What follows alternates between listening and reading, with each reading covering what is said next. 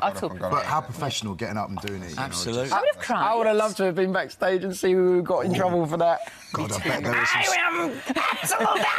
That's what it would have been like. I think it probably. And then she would have been like,